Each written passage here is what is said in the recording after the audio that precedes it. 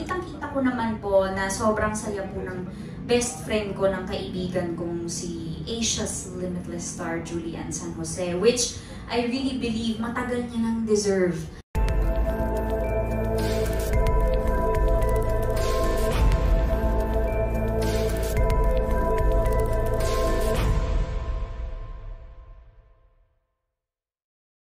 Kaya na nakakausap na interview namin si Jack at saka si Raver na natutuwa sila na banding nga kayo sa Ilocos ni Julie. So, um, dati naman kayong friends na, di ba? Pero mas lalo kayo naging close dito sa Maria Clara.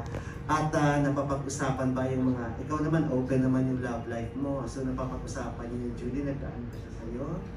Nagkakwento, kukonfide, or mga ganun kwento? Um, Kaya kayo sila ano po ba ng huling sinabi nila tungkol sa kanila? Pwede ikaw na lang Baka kasi, oo, may nasabi ako na hindi pa pala nila sinasabi.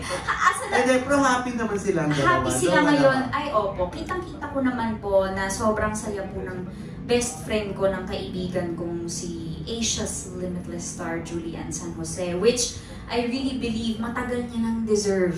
Kasi nga sinasabi ko sa kanya, Diyos ko, um, na na-achieve mo na lahat, nakuha mo na lahat. Talagang siguro ano personal happiness na lang ang kulang, I guess. And now na nakikita ko naman napakabait ni River, so I'm very happy that he makes her happy. And ngayon magkasama sila sa safe. So, ayun, I'm very, very excited dahil alam ko may upcoming concert pa sila, di ba? So, ang dami talagang in store for them and I'm just so happy for the both of them, both personally and professionally. So nakikita mo in love na, in love na in love si Julie. Hanggang saan ba nga kasi yung kinuwento nila? Baka Basta- naman kasi may ma, okay o may ma, sabi ako Wala na. nang masama kung in love, di ba? Lahat naman tayo. Basta may mukha silang ano, mukha silang very inspired parehas. sa isa't isa. Oh, Okay, sa lahat ng nangyayari po sa kanila. Thank you so much.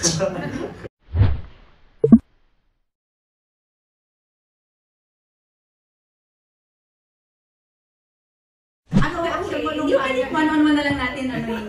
Kailangan panel. Okay, sige. Gusto natin to eh.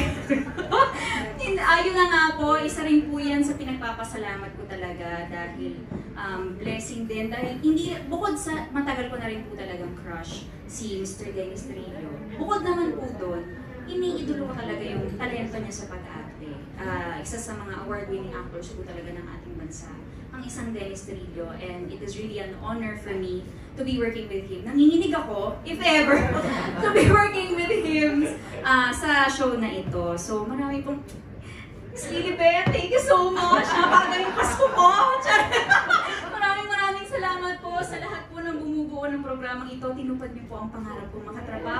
Si Dennis Trillo, maraming maraming salamat po. Diba? Congrats dyan, Barbie.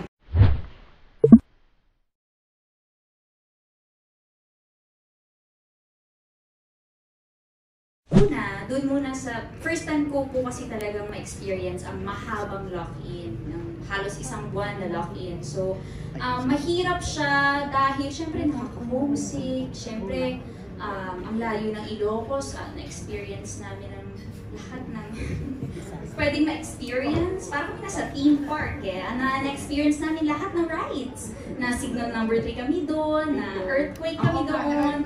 Yes, opo. So talagang kompletos recados po talagang experience. Pero eto nga, katulad yun, at least may nakukwento po ako, di ba? And charge it to experience. Um, natutunan ko maghanap ng open area. kasi eh, natakot eh.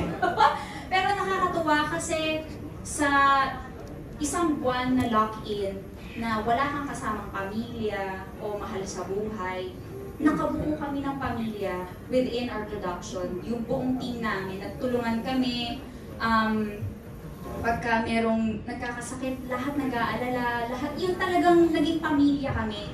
Naging nanay namin si Miss Shelleen and si Miss Edlin, yung talagang very hands-on din talaga ang buong team ng show. So, I'm very happy na na nagkaroon ako ng ganitong team kasi ang ang tatag ng samahan namin eh. So kahit ma- ma-lock in kami ng matagal, alam namin na matibay yung samahan namin. Namin! Yun. Tapos, ano nga ulit yung second question? Kung may natutunan ka Yung natutunan ano ko. naging ano mo, realization mo? Okay po, ang, re- ang realization ko po ay um, ito man ay part ng ating history in a way, uh, ang part ng ating kasaysayan. Um, hindi, kumbaga, very timely pa rin siya and napaka-importante maipalabas at ma, ma, mapag, mapag-usapan ulit, mapanood para mas maintindihan natin ang mga nobela ni Dr. Jose Rizal.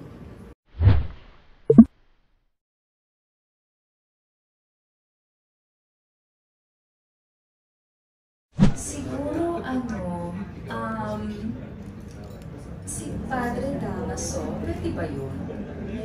Pwede yun, si Padre Damaso, kasi napaka-interesting. Um, kontrabida man siya sa mata ng marami, masama man siya, masamang tagapamahala, pero kasi siya sa sarili niya, I'm sure behind closed doors, marami din siyang issue and pinag pinanggagalingan nung kanyang galit at pain. So. Ayaw mo maging Josephine Bracken? Ay, pwede naman po, mahirap na po kasi ni-spell eh. O, nag-show tayo niya na yun. Sa, Ah, sige, yun na lang po, yun po ba yung gusto niyo? Ayun po tayo, Josie Brown. Ayun na nga po. O, sige, yun na lang po. Ayan gusto mo. Ah, sige, yun na lang po, yun na lang po. Opo.